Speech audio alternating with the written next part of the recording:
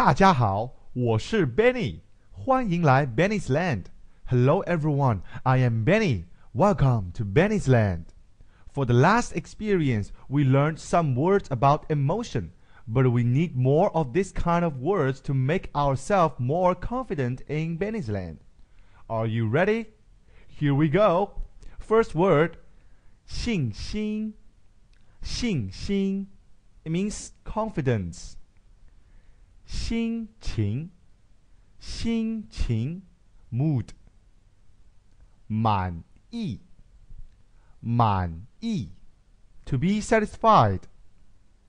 失望，失望 to be disappointed。For example，我有信心，我有信心，I have confidence。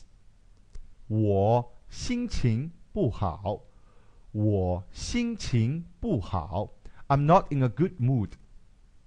我很满意，我很满意，I'm very satisfied。我很失望，我很失望，I'm very disappointed。Did you get it? Don't worry, it's easy as A, B, C。但是你们必须每天练习 ，but you must practice every day. Okay, guys, I'll see you next time. 谢谢，再见。